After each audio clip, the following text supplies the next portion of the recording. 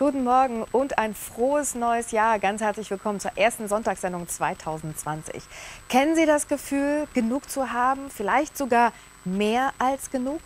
Auf die weihnachtliche Geschenkelawine folgt ja oft der Konsumkater. Und deshalb fassen immer mehr Menschen zum neuen Jahr den Vorsatz ausmisten. Auch Antonia Jage reduziert konsequent ihren Besitz. Die Alleinerziehende will künftig minimalistischer leben. Denn sie hat festgestellt, viele Dinge kosten auch viel Zeit. Antonia Jage holt ihren Sohn aus der Schule ab. Die Mutter will ihren Haushalt radikal ausmisten. Das betrifft auch den achtjährigen Leopold. Wir wollen doch in dieses Familienzentrum fahren, ne? Und? Wo ich dir erzählt habe, wo zum Beispiel auch die Leute ähm, dann nach Anziehsachen und Spielsachen gucken und so weiter, ne? Die sonst eben nicht so viel Geld dafür ausgeben können. Aber wir gehen nur Anziehsachen ab, oder? Ja, und Spielsachen möchte ich auch gerne noch mal gucken, Nein. was wir haben. Doch, ich zeig dir nachher, was, woran ich denke. Und die Kinder, die dann dort einkaufen gehen, die freuen sich, wenn es dann da tolle Sachen gibt. Okay? Leopold? Ja, aber ich mag nichts von meinen geilen Spielsachen abgeben. Die Herausforderungen bei der Umsetzung minimalistischer zu leben sind ähm, natürlich die Kinder. Also einem Kind zu sagen, du brauchst dieses Spielzeug nicht mehr, löst bei dem Kind was ganz anderes aus als jetzt bei mir. Das Spielzeug von Leopold und seiner Schwester Philippa verteilt sich im ganzen Haus. Vieles davon wird nicht mehr genutzt. Antonia will beweisen, auch mit Kindern kann man ausmisten. Wir wollen jetzt einmal ganz kurz durchsprechen, was wir hier von den Spielsachen eventuell. Das sind alles Sachen, die ganz lange schon da drin sind. In zahlreichen Gesprächen hat Antonia ihre Kinder auf das Aussortieren vorbereitet. Schau mal, wir haben das seit sechs Monaten nicht gespielt, das heißt, wir brauchen es eigentlich nicht. Doch, ich will es aber haben. Ja, ich will's haben, ich will's haben. Seit eineinhalb Jahren lebt Antonia alleine mit ihren zwei Kindern. Es gab einen Bruch im Leben der 37-Jährigen. Die Trennung vom, vom Vater meiner Kinder, weil damit so ein bisschen ein, ein Lebenskonzept einfach kaputt gegangen ist ähm, und man dann doch mit Mitte 30 wieder bei Null anfangen muss. Seitdem arbeitet Antonia wieder in Vollzeit. Nachmittags kümmert sie sich um Leopold und Philippa. Der Alltag als Alleinerziehende bringt sie schnell an ihre Grenzen. Und war irgendwann an einem Punkt, wo ich wirklich gedacht habe, ich kann nicht mehr. Ich kann vor allem Dinge wie Aufräumen, Putzen, für Ordnung sorgen und so weiter nicht mehr. Und das hat mich in dem Moment echt wütend gemacht. Ich dachte, das kann es doch nicht sein. Irgendwas muss zu ändern sein. Und hatte plötzlich so diesen Moment, wenn hier einfach nur noch die Hälfte der Dinge stehen würde, würde ich mir einfach schon wieder die Hälfte sparen und könnte die ganze Sache mit Putzen und Saubermachen einfach in der Hälfte der Zeit erledigen. Aufgabe aussortieren. Im Keller ihres 160 Quadratmeter Hauses hat Antonia die alte Kleidung ihrer Kinder gehortet. Ich sehe meine Tochter natürlich noch genau hier in dem Oberteil. Klar, ist alles sehr erinnerungsbehaftet. Antonia lernt loszulassen. Abgelegte Kinderklamotten und aussortiertes Spielzeug sollen nicht einfach weggeworfen werden. Mama, aber, aber wieso willst du die Schaukel wegtun? Weil wir die nicht mehr brauchen, weil die hier bei unserem Baum nicht geht und außerdem habt ihr eine Schaukel. Kannst du es oben auf das Geschirr drauf tun? Ich versuch's. Ungefähr 10.000 Dinge besitzt jeder Deutsche im Schnitt. Antonia hat beschlossen, bei ihr sollen es deutlich weniger werden. Das nicht mehr Gebrauchte soll dahin, wo es anderen noch nützen kann. Im Familienzentrum in Haar trifft sie sich mit einer Gruppe alleinerziehender Mütter. Also hat sich aber schon einiges angesammelt, oder? Wenn ihr wüsstet, was für ein kleiner Anteil das vom Ganzen ist. Viele Alleinerziehende müssen ihr Geld gut einteilen. Secondhand-Ware ist deshalb willkommen. Für Antonia ist die Weitergabe der Kinderkleidung eine bereichernde Erfahrung. Peinlich ist es, wenn ein bisschen, dass eben die, die Mamas hier jetzt sagen, oh, das ist so viel. Und ich denke mir natürlich sofort, oh, zu Hause wartet noch mal das Fünffache davon. Aber jetzt finde ich es schön, weil ich natürlich sehe, dass sofort alle sagen, ah, das könnte für das Kind und das ist für das. Und ähm, letztendlich ich natürlich jetzt live sehe, auch was für eine Freude wir damit bereiten. Und das macht es extrem einfach, die Sachen abzugeben. Minimalistischer Leben bedeutet auch, seine Konsumgewohnheiten zu überprüfen.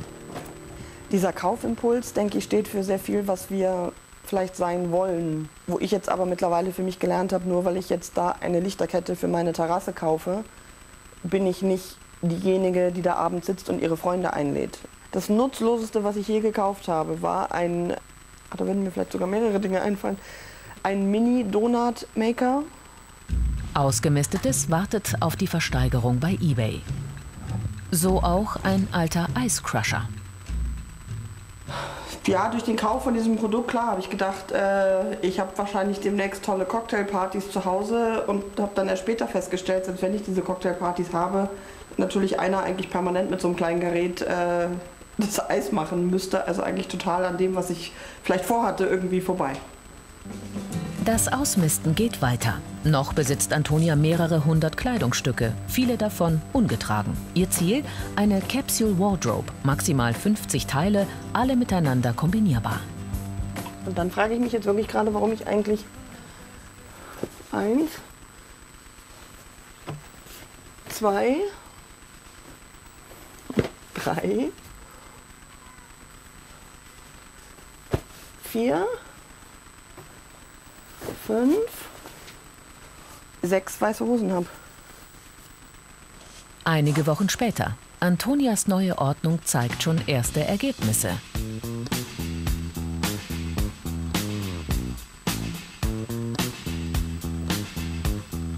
Das Ziel, das ich erreichen möchte, habe ich bis jetzt, würde ich sagen, zu 30 Prozent erreicht. Weil einfach schon wahnsinnig viel in meinem Kopf passiert ist.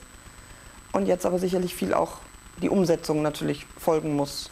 Weniger Dinge bedeuten für Antonia weniger Ballast. Ihr Leben fühlt sich jetzt wieder besser an. Weniger ist mehr. Ein altes Sprichwort mit neuer Relevanz. Ich müsste auch mal wieder ausmisten. Fällt es Ihnen leicht, Ordnung zu halten? Oder hätten Sie gern jemanden, der erstmal grundsätzlich Struktur ins Chaos bringt? Also ich gebe ehrlich zu, mir fällt das mit der Ordnung wirklich schwer. Vor allem, wenn man so viele Dinge zu Hause hat. Unser zu viel an Besitz hat einen neuen Berufsstand hervorgebracht, und zwar Aufräumberater. Susanne Bratz ist Aufräumcoach. Sie verrät uns ihre Tricks und behauptet, Aufräumen macht glücklich. Manchmal fehlt einfach die Lust zum Aufräumen und ruckzuck türmen sich Berge. Die Japanerin Marie Kondo gilt als die Aufräumexpertin. Ihre Bücher mit Tipps und Tricks verkaufen sich auf der ganzen Welt. Ausmisten, falten und in Boxen sortieren. Marie Kondo hat einen Nerv getroffen. Aufräumen ist auch Susanne Bratz Leidenschaft. Sie ist Aufräumcoach. Heute unterstützt sie Stefanie. Also sie sind sehr gut in äh, Sachen wegräumen oder in den Schränken verschwinden lassen. Und ähm, ich hätte aber gerne, dass alles wirklich seinen festen Platz hat und da auch immer wieder zurückfindet. Mhm.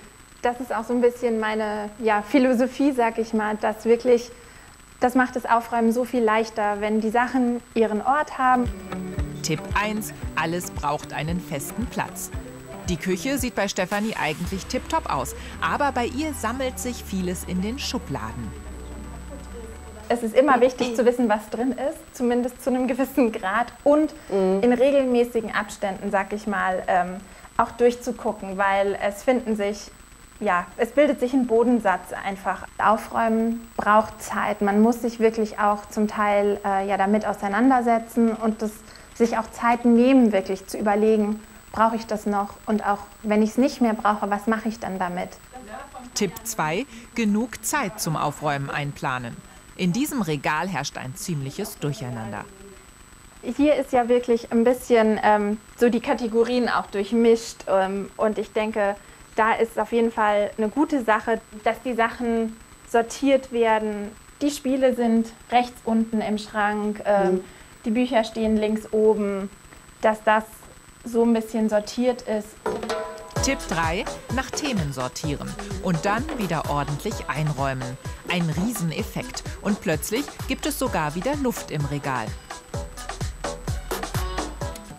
Das Gästezimmer wird schnell zur Abstellkammer. Über die Jahre haben sich so einige Sachen angesammelt, von denen sich Stefanie nicht so richtig trennen kann. Dabei soll ihr jetzt Aufräumcoach Susanne Bratz helfen. Also ich habe wirklich schon säckeweise ähm, das Auto vollgeladen und zum Altkleidercontainer gebracht. Und von den Sachen kann ich mich aber jetzt irgendwie noch für den Altkleidercontainer nicht trennen. Also da wir haben Skrupel beim Aussortieren, wenn wir sagen, wir müssen es wegschmeißen. Das wollen wir nicht. Und das ist ja auch nicht sinnvoll. Das ist niemandem genützt. Aber ähm, es gibt heutzutage so viele Möglichkeiten übers Internet, Flohmarkt, egal wie, ähm, Dinge eben ja, weiter zu verwenden. Tipp 4 also, aussortiertes Verkaufen oder Verschenken. Das befreit. Das ist Ballast, der dann auch, äh, auch mentaler Ballast, der dann abfällt. Ja, und hier haben wir noch mal Jetzt geht's ans Eingemachte, der Abstellraum. Also dieses hässliche Teil kommt mir jetzt als erstes hier in den Blick, die benutze ich nicht mehr. Die kann weg. Und ist das noch was, was du benutzt? Ich glaube, Die nein. quadratische? Nein. Gut, dann geben wir die doch. Danke. Fünfter Tipp, nur Dinge aufheben, die man auch wirklich braucht und benutzt. Der Rest weg. Dafür muss man etwas Mut haben, aber es lohnt sich.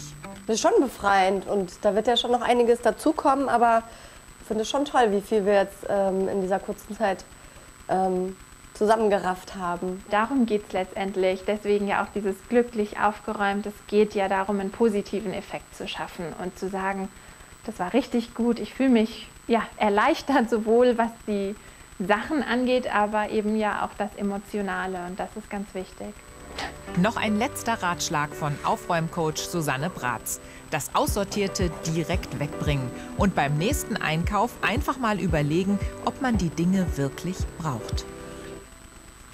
Ja, Dingen einen Platz und Struktur zu geben, das ist eine Sache. Doch wie sieht es mit dem Chaos in uns selbst aus? Ich freue mich jetzt sehr, heute im Studio einen Gast zu begrüßen, der mit seinen Büchern ganz viele Menschen inspiriert, eine innere Ordnung herzustellen. Lars Ament, Bestseller-Autor und Life-Coach. Herzlich willkommen bei uns. Dankeschön. Welchen Tipp hast du denn für Menschen, so eine innere Ordnung wieder herzu herzustellen? Weil viele haben ja das Gefühl, es ist wie in so einer Schneekugel, dass die Gedanken alle durcheinander sind und man gar nicht so richtig weiß, was man will. Ich kann jedem empfehlen, mit der Meditation anzufangen. Weil wenn du meditierst, lernst du deine Gedanken zu ordnen, sie an dir vorbeiziehen zu lassen, friedlich vorbeizuziehen und dich nicht mehr damit zu identifizieren. Weil das, was uns Stress macht, das ist unsere Interpretation. Das ist nicht die Welt selbst, sondern wie wir die Welt sehen. Und also die Gedanken stressen uns. Und in der Meditation lernst du einfach zu sein und nichts anderes. Und das führt dazu, dass du dann, wenn du aus der Meditation rausgehst, in der normalen Welt, dass du dann nicht mehr gestresst bist, dass du bessere Entscheidungen treffen kannst, dass du Dinge nicht mehr persönlich nimmst und dass du auch in Krisensituationen ruhiger, bewusster entscheiden kannst und dass du einfach entspannter bist. Du hast äh, Bücher geschrieben wie Why Not oder It's All Good und ein Motto von dir ist ja, Aufgeben ist keine Option. Nun stehen viele am Anfang des Jahres noch hochmotiviert da und sagen, ich mache ganz viel Sport und ich stelle meine Ernährung um, ich werde gesünder leben. Und schon nach relativ kurzer Zeit lässt die Motivation aber total nach. Was ist dein Rat, damit wir doch noch unsere Ziele erreichen und nicht gleich schon nach zwei Wochen aufgeben? sich zu erinnern, warum man angefangen hat. Jeder von uns hat diesen Wunsch nach Veränderung und irgendwann ähm, kommt eben die Stimme im Kopf, die zu dir sagt, ach, du bist nicht gut genug, das kannst du nicht und die anderen sind so viel besser. Und wenn du dich dann erinnerst, Moment mal, vor zwei Wochen hatte ich doch dieses Ziel vor Augen und sich dieses Ziel immer wieder vor Augen zu führen, dann hörst du auch nicht auf, dann machst du weiter. Und das ist das eine. Das Wichtigere ist aber, dankbar zu sein dafür, es überhaupt probieren zu dürfen. Das Wenn man musst sich, du erklären. Ja, wenn man sich überlegt, die Wahrscheinlichkeit, geboren zu werden als Mensch, besteht 1 zu 400 Trilliarden. Das heißt, jeder, der hier zuhört, wir zwei, das ist ein Wunder, dass wir hier sind und dass wir das wertschätzen. Und wenn man sich überlegt, es ist wahrscheinlicher, sechsmal nacheinander im Lotto zu gewinnen, als diese Challenge machen zu dürfen, als überhaupt am Leben zu sein. Und wenn du die Perspektive auf dein Leben änderst und es einfach wertschätzt, dass du frisches Wasser hast, dass du eine Wohnung hast, dass du einen Job hast, dann ist diese Challenge, die dir vielleicht jetzt mal kurzfristig Ärger macht, gar nicht mehr so dramatisch, gar nicht mehr so schlimm, weil du erkennst, okay, wow, was für ein Geschenk hier zu sein. Was für ein Geschenk. Und ich stehe jetzt auf und ich gehe zum Sport.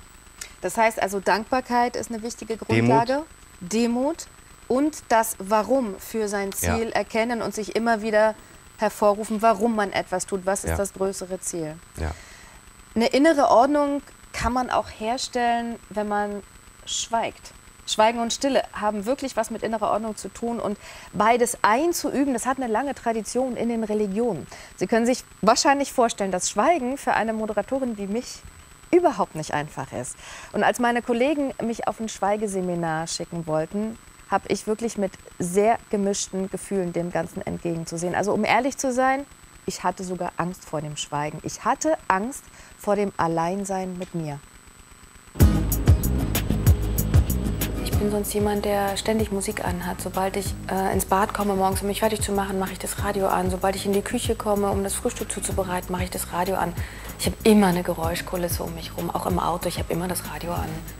Und ich habe ja gedacht, ich hatte ja anfangs so ein bisschen Angst vor der Langeweile. Nichts tun, kein Fernseher, kein Buch, kein Handy. Glaubt mir sonst keiner, dass ich das gemacht habe. Sinn.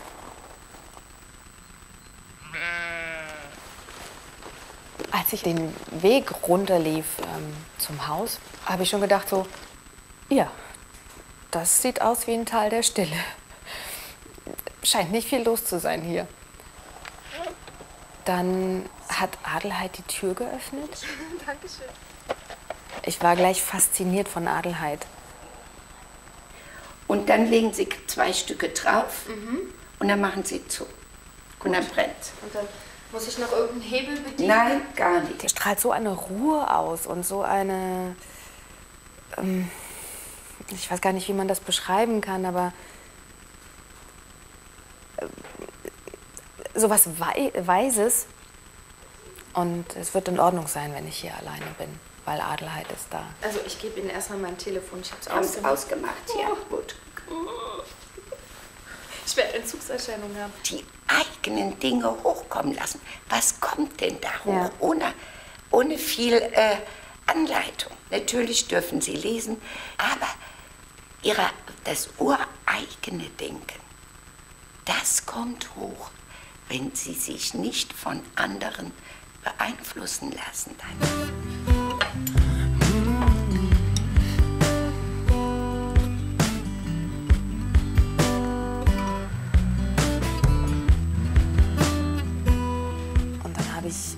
In meiner Klause mein äh, Mittagessen für mich alleine gegessen. Und dann dachte ich, naja, du hast 48 Stunden.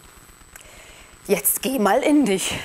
Und saß dann auf dem Stuhl vor dem Feuer. Und ich dachte aber gleichzeitig, aber eigentlich will ich schlafen. Und dann habe ich gedacht, Moment, du bist hier ganz allein. Du bist selber diejenige, die sich unter Druck setzt. Du bist selber diejenige, die Erwartungen an sich selbst hat und sich bewertet. Wenn du schlafen willst, geh schlafen.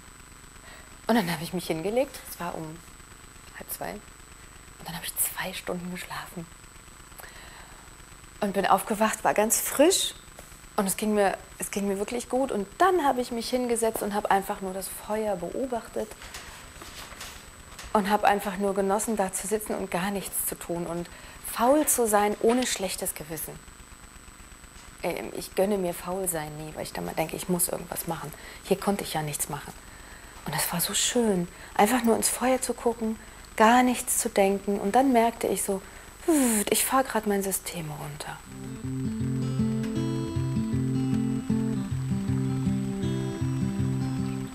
Das Bewusstsein auf den Augenblick legen. Was hörst du jetzt gerade? Was spürst du jetzt gerade, wenn du läufst?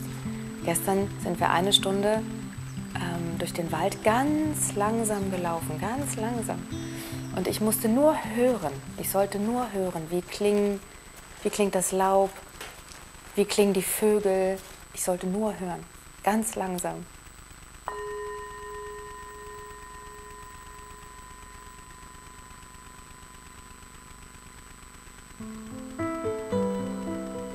So viel Zeit mit mir alleine zu sein und nichts zu haben, was mich ablenkt.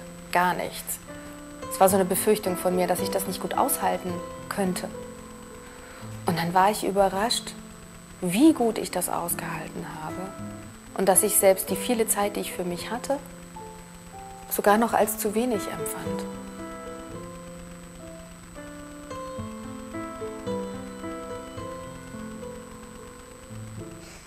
Ja, das war huh, eine sehr intensive Erfahrung. Da ist sehr, sehr viel hochgekommen in der Stille und ich kann wirklich sagen, es war lebensverändernd. Kann ich jedem nur empfehlen zu schweigen.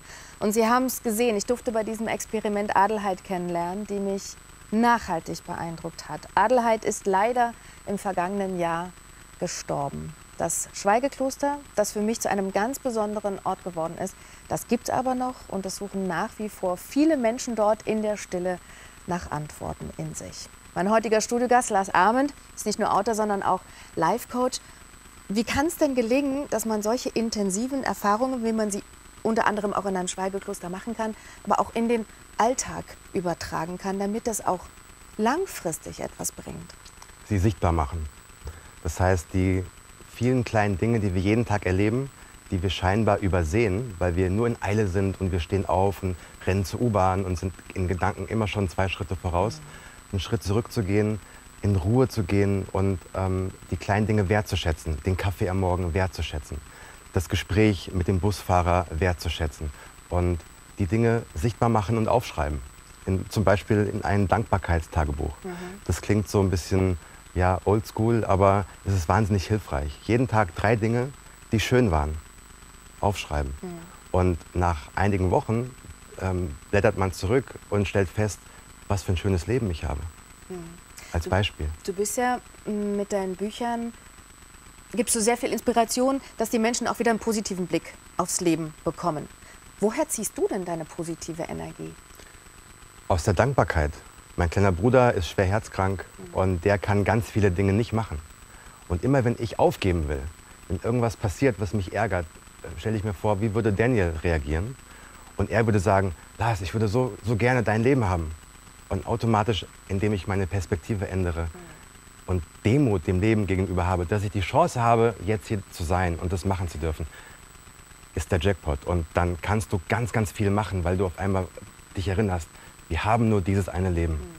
Und trotzdem tauchen bei vielen Menschen immer wieder Selbstzweifel auf, selbst wenn man sich so etwas bewusst macht, wie das, was du uns gerade gesagt ja. hast. Wie kann man dann mit diesen Selbstzweifeln umgehen, um trotzdem sein Ziel und auch seine Vorsätze zu erreichen und diese Momente wahrzunehmen? Sich selbst zu fragen, ist es richtig? Stimmt das, was ich denke? Mhm. Ist das, was ich über mich denke, die Wahrheit? Gibt es einen Beweis dafür, dass die Stimme in meinem Kopf recht hat? Und ganz oft wird man eben keinen Beweis finden, sondern es sind nur Unsicherheiten, die von außen herangetragen werden. Und auf Pause drücken, zu sagen, Moment mal, Stimmt das? Wenn ja, okay. Wenn nein, okay. Let's go. Ist mein Leben. So los, losgehen, gehen, gehen, gehen, machen, machen, machen. Machen, machen, machen, machen wir. Vielen Dank, herzlichen Dank, Lars, für deine Inspiration.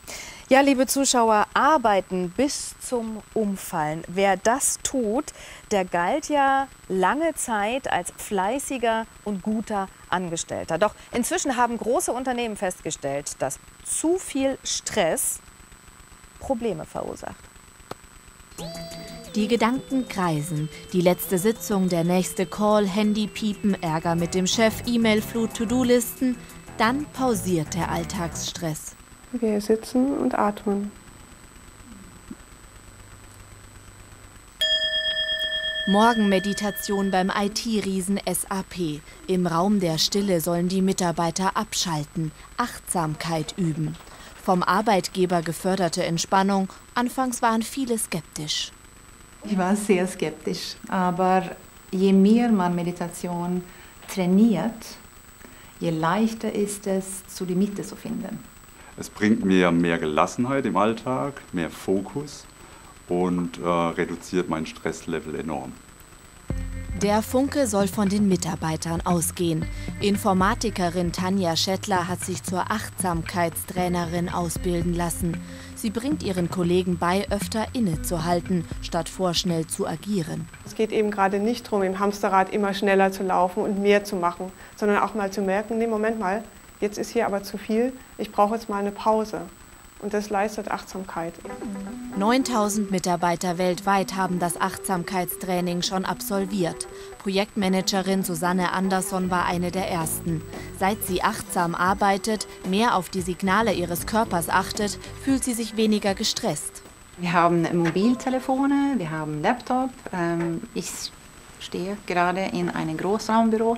Es ist sehr viel Trubel rund um einem. Man muss eigentlich nur die Augen schließen einen Atemzug nehmen, festhalten, spüren und dann ist es wieder vorbei. Einatmen. Studien zeigen sogar, wer regelmäßig die Aufmerksamkeit auf den Atem lenkt, verändert die Architektur seines Gehirns. Anfangs wurde der Leiter des Achtsamkeitsprogramms belächelt. Doch mittlerweile läuft das Ganze so erfolgreich, dass SAP das Konzept an andere Firmen verkauft, mit Achtsamkeit Geld verdient. Das ist auch, was wir, was wir gerne machen möchten und was wir tun, dass wir im Grunde so ein bisschen Hilfe zur Selbsthilfe geben, dass wir halt zeigen, wie kann man so ein Programm aufbauen, wie kann man Lehrer ausbilden, dass es aus dem Unternehmen heraus ähm, wächst. Um eine andere Form von Stressreduktion geht es in dieser IT-Agentur in Bielefeld. Die Mitarbeiter arbeiten nur noch 25 Stunden die Woche bei vollem Lohn. Wir haben ein intensives Privatleben heutzutage. Wir haben eine, ein Berufsleben, was ganz schön viele Herausforderungen und Ansprüche stellt. Wir müssen immer Lösungen entwickeln ähm, und immer mit dem Kopf wirklich fokussiert dabei sein. Und das kann man nicht schaffen, wenn man acht Stunden auf diesem Level arbeiten muss. Und ich glaube, wir können mit dem Fünf-Stunden-Tag es schaffen, dass wir eine gute Balance hinbekommen. Um das Arbeitspensum in fünf Stunden zu schaffen, wurden die Sitzungszeiten reduziert. Private E-Mails und Anrufe sind tabu. Der Plausch unter Kollegen entfällt. Also jetzt gerade, also wir mussten natürlich ein bisschen wieder daran erinnern, so, weil die Lautstärke manchmal ein bisschen höher war. Aber ähm, ansonsten ist es eigentlich echt still hier, muss ich sagen. Um 13 Uhr ist Feierabend. Janine Kunz hat einen kleinen Sohn. Das neue Arbeitszeitmodell ist für sie ideal, um Kind und Karriere unter einen Hut zu bekommen. Und es fördert die Gleichberechtigung. Ich finde, das Konzept ist ein Erfolgsmodell für alle, weil jeder Mitarbeiter dadurch, wenn jeder um 13 Uhr Feierabend macht, wird ja jeder Mitarbeiter zum gleichberechtigten Teammitglied. Und ähm, so können auch Männer dann nachmittags ähm, die äh, Zeit mit ihren Kindern genießen. Zurück zu SAP. Susanne Andersson hat sich heute zum achtsamen Mittagessen angemeldet. Inmitten des Kantinentrubels essen sie und ihre Kollegen schweigend. Bewusst schmecken, abschalten, so tanken sie Energie für den restlichen Arbeitstag.